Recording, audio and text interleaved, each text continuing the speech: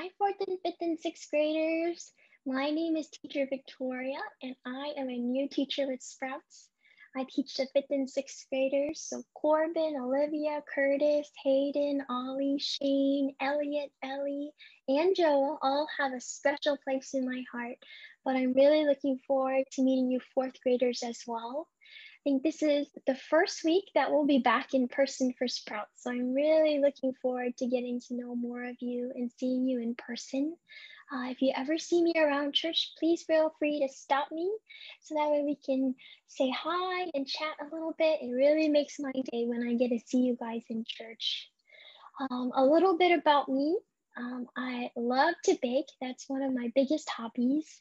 And I think once everything is a little bit safer and, and hopefully COVID is over, I love to bake for you guys, even your fourth graders too, uh, because teacher Jonathan is actually my brother. So I'll make sure to save some for you guys too. Um, so that's a little bit about me. Uh, really hoping to see you guys in person and let's get started. All right, let's now begin with a time of prayer. Dear God, we thank you for this time that we had together, even though it may be virtually and online, that we still can come together to read your word and study it. God, we pray that you give us focus and understanding today as we study First Thessalonians. We pray that we may learn new things about you, about Paul, about the Thessalonians, and that it may cause us to draw closer to you and fall more in love with you each day. In Jesus' name I pray. Amen. All right. So let's begin by reading the passage. So we're reading First Thessalonians chapter 2, verse 1 to 12. Starting with verse 1.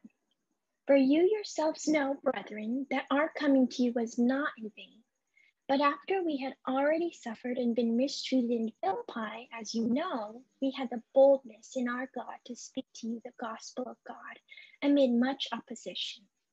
For our exhortation does not come from error or impurity or by way of deceit, but just as we have been approved by God to be entrusted with the gospel, so we speak, not as pleasing men, but God who examines our hearts. For we never came with flattering speech, as you know, nor with a pretext for greed. God is witness nor did we seek glory from men, either from you or from others, even though as apostles of Christ we might have asserted our authority. Verse 7 But we proved to be gentle among you as a nursing mother tenderly cares for her own children. Having so fond an affection for you, we were well pleased to impart to you not only the gospel of God, but also our own lives, because you had become very dear to us. For you recall, brethren, our labor and hardship, how working night and day so as not to be a burden to any of you, we proclaim to you the gospel of God. You are witnesses, and so is God, how devoutly and uprightly and blamelessly we behave toward you believers. Just as you know how we were exhorting and encouraging and imploring each one of you, as a father would his own children so that you would walk in a manner worthy of the God who calls you into his own kingdom and glory. Okay, so now that we've read through the passage, and before we start our study, I want to ask you guys to take some time to do your own personal study. So, similar to what teacher Jonathan asked you guys last week, I'm going to ask that you guys read the passage once or twice again on your own and after you read the passage, summarize what you read in one to two sentences. If you can divide the passage into different sections and come up with the main idea for each section, that would be great as well. But I'm going to add on top of to what teacher Jonathan said, and I also ask that you look at the context of this passage. Now, I know that context is a big word, right? So, what is context? Well, let's look at the dictionary definition. So context is a noun and it says the circumstances that form the setting for an event, statement, or idea. So it can be fully understood and assessed. So basically what that means is it's kind of like the background for the passage. And so how do we figure out the context for this passage that we just read? Well, we can look at what do we know about the First Thessalonians already? What have we learned through our overview, through chapter one? Um, what kind of people were the Thessalonians before they became believers? What kind of people were they after they be- became believers based on what we know about the Thessalonians already? Um, again, what did we read about them in chapter one? What was Paul's message to the Thessalonians in chapter one? And how does chapter one tie into what we just read? Now, I know that's a lot for you guys, for me to ask from you guys. And I know you may be thinking, Teacher Victoria, why? Why do I have to do this? Aren't we going to go over this anyways in the next 10 to 15 minutes? And yes, you're right, we will be. But I'm asking you this for two reasons. One, because I have faith in all of you students. Um, if there's anything that I've learned in the past few weeks interacting with all of you, it's that you guys are incredibly smart. And I know you can figure out the answers and the questions. Um, but two, and the most important one is because I don't want any of you students to just believe us teachers for what we say.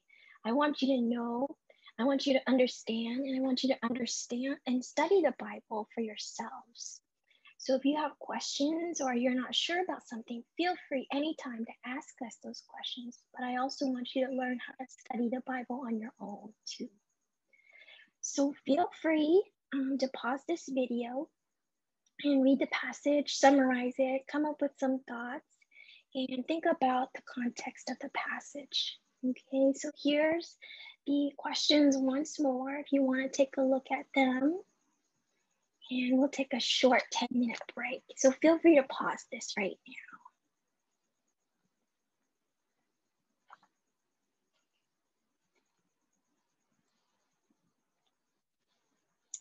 All right, we're back. Um, so I'm sure you guys did a great job taking some notes, going through the study, and I'm really proud of you guys for taking the time to really understand what's going on. So let's go over it together now.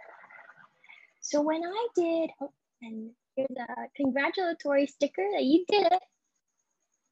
All right, so when I did the study on my own, one of the strongest themes that I felt was that Paul seemed to be defending himself a lot through the passage. For example, he says, our exhortation, big word, right? Exhortation means to urge strongly. Um, our exhortation does not come from error or impurity or deceit. He says, We have been approved by God. We never came with flattering speech or because of greed. We did not seek glory from men. We were gentle because we were fond of you. We worked day and night so we wouldn't be a burden to you. We behaved devoutly, uprightly, and blamelessly. So over and over, he's reminding the Thessalonians of how he, Silvanus, and Timothy treated and acted around the first around the Thessalonians. And so let's try to understand why. Why is Paul defending himself in this way? So let's go back to chapter one in our overview of First Thessalonians. So in chapter one, Paul keeps on telling the Thessalonians how um, how proud he is of them, right? And why? Because they show true evidences of saving faith. In verse three, he says they show works of faith, labors of love, and steadfastness of hope. And remember in 6 to 10 that we learned last week, the Thessalonians clearly transformed in the way that they turned away from idolatry in verse 9 and how they have placed their hope in Jesus in verse 10. They transformed so much that um, their change was made known all throughout Macedonia and Achaia too. And what's more, they try to imitate Paul, Silvanus, and Timothy now, right? And why is that? Because they believed in the gospel. Let's read verse 5 again because they heard the gospel in word when Paul told them the message, but they didn't just hear it, it came to them in power and in the Holy Spirit, and they believed it with conviction. So clearly, the Thessalonians believe what Paul said. So you may be wondering why. Um, if Paul is so sure of their change, he knows that they turned away from idolatry and they have become true believers now. Why does he need to keep reminding them that he came with good and pure intentions? In verses 1 to 12, he's reminding them of how he cared for them, of how he didn't take anything from them. Do you think he's worried that maybe they doubt him? And it sounds like it, right? Because let's remember, where is Paul right now? He's in jail, right? And remember, before Paul left Thessalonica, the Thessalonians saw him being persecuted. Remember when we studied in our general overview of First Thessalonians, we studied Acts, right? Acts chapter 17. And it says in verse 5, and it gives a little background as to how Paul was treated in Thessalonica. And so it says, um, the Jews becoming jealous and taking along some wicked men from the marketplace formed a mob and set the city in an uproar. They were seeking to bring them, them referring to Paul and Silvanus, out to the people. So the Thessalonians probably saw with their own eyes Paul, Silvanus, um, and Timothy being forced out of their city. And now they probably heard that Paul is in jail too. So Paul is probably worried that they may be losing their faith in him and the message he shared, right? And let's kind of put this in context because I know sometimes it's kind of hard to read, let's say, even First Thessalonians and put it into perspective as of today, right? So I'm going to ask you guys a question. Do you guys have a favorite teacher? It could be at school, it could be at Sprouts. And why do you like him or her? Was it because they spent a lot of time with you? Uh, they tried to get to know you. Maybe they were fun and they tried to do fun things you did too. Maybe they made you feel included or welcomed and they tried to encourage you when you were going through a hard time. And hopefully, you guys can have a teacher in mind right now. And you're probably certain that that teacher is the best you've ever had, right? You can say a million different reasons why you like that teacher. But let's say, what if something bad happened and that teacher was kicked out of school? And other teachers and students started saying really mean things or really bad things, and you think that they're untrue, um, but the people around you won't stop saying those things. And so let's say that your teacher is not only banned from school, he or she is thrown in jail too. Well, usually, if someone goes to jail, usually it's because they did something wrong, right? And so, even though you know that that teacher was the best you've ever had, and you believe he didn't do anything wrong, would it be harder for you to trust that person? Maybe, right? And what would you do today? Maybe you can call them or email them to see what's going on, whether it's true or not. Maybe tell them about your doubts. But remember, during those days, the Thessalonians didn't have that technology to be able to, to, to call Paul or email him or see how he's doing. And so all they have are these people telling them these bad things that Paul is doing, and he and all they know is that he's in jail. And so that's the context of verses 1 to 12, and also one of the reasons for Paul's letter. He's checking on them, he's encouraging them, and he's reminding them of why they came and why the Thessalonians need to remain strong in their faith. Paul is reminding them that this isn't the first time Paul, Silvanus, and Timothy were mistreated. They were mistreated before in Philippi, right before they came to Thessalonica. And it was because they spoke the gospel there too, and it wasn't welcomed. But even though the people were hostile to their message in Philippi, he's reminding them of why they came. Because they had a message that God wanted them to share, and they were going to do so because they were obedient to God's call, no matter what men thought of them or how they would be mistreated. He was reminding them of how they treated the Thessalonians too, right? He's reminding them, we took care of you. We were gentle like a mother to you and encouraging and guiding like a father. And again, why were they so eager to share that message with the Thessalonians? Because they had a fond affection for the Thessalonians. They loved them and continued to care for them even after they were gone, which is why Paul's writing this letter in the first place, right? He's making sure that they're okay, letting them know that he's okay. And so, again, why did Paul want to do all these things? Because in verse 12, and that's my favorite verse in this passage, Paul's hope is that the Thessalonians will walk in a manner worthy of the God who calls them into his own kingdom and glory. He's reminding them that their goal is not to please men, especially the people around them, telling that their new faith is false and are persecuting them for it, but their goal is to please God alone. He's encouraging them that despite everything that they're going through, to continue walking in a manner worthy of God. Why? Because as we'll read in chapter 4, because Jesus is returning for us and them to bring us to his kingdom and for eternity. Now, isn't that the greatest encouragement of all? That no matter what we go through in this life, no matter what you students go through at home, with your families, at school, that if we are His chosen ones, if we understand why our sin put Jesus on the cross, if we accepted Jesus into our hearts as Lord and Savior, He will come to bring us home in heaven one day. I hope and pray that all of you students have that assurance. and if that you are unsure, you can talk to any of us teachers.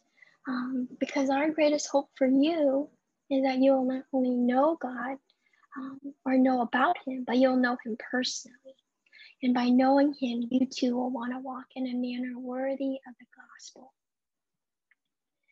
Okay, so now that we've finished our study, uh, let's not only read the word, but let's also apply it with some questions. So here are a few application questions that I came up with you.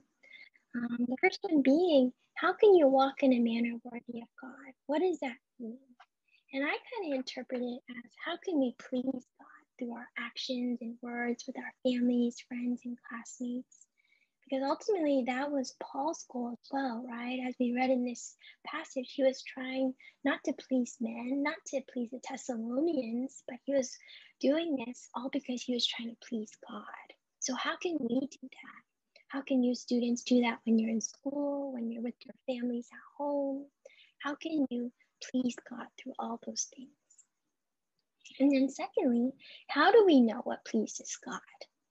Um, and just to give you a little hint, how do we know what pleases anyone, right?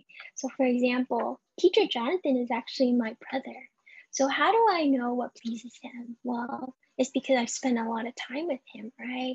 I've gotten to know what he likes, I've talked to him and I've heard that he likes Legos or that he likes certain foods. And so that's how I know what, um, how to please right? And so it's the same way with God. Um, we have to get to know God. We have to talk to him. We have to pray to him. We have to read his word, um, especially read his word because the Bible is like his letter to us. And that's one of the best ways to get to know him. Um, so I encourage you guys to get to know God during this week. Talk to Him about everything that's going on. Talk to Him about your school, um, about your friends, about your family, anything that's going on. As we read in Philippians, God wants us to come to Him in all prayer, with all prayer and supplication. All right. So that concludes our study of First Thessalonians chapter 2, verse 1 to 12. But I also wanted to go over next week's memory verse. I know a lot of you guys are being really faithful and memorizing these verses, and I'm really proud of you guys for doing that. I know you guys all have a lot of homework, a lot of activities to do, but it makes us all so happy and so proud when you guys do that. So this week's memory verse is Second Corinthians 5, uh, verse 21, and it says, He made him who knew no sin to be sin on our behalf, so that we might become the righteousness of God in him. And I know that's kind of a tongue twister a little bit, but I know you guys can do it. I have faith in you guys. But I also wanted to take it one step further as well. So when we do the memory verses, uh, my hope for you guys is that you're not only memorizing it, but you're also thinking about the words that you're memorizing. So um, for this week, I want you guys to think about who is he? Who is him? Right? It's not so clear, but try to think about it, or even ask your parents, ask us teachers if you want to, and we'd be happy to help you guys out with those questions. So answer that. And then also, who knew no sin to be sin. How did he become sin? Um, why did he have to become sin? Um, and how did that make us righteous before God? Because yeah, um, he became sin. So that's a little background on that verse, and I hope you guys can memorize it, can think about it, Um, and we'll be really happy if you guys do so. All right, so that ends our study for this week. Again, really proud of you guys for being so faithful and watching the online videos. We really hope to see you guys in person sometime soon, but we'll continue trying to connect with you online um, until then. We miss you guys a lot and we're thinking of you and praying for you. And we'll see you next week. Bye.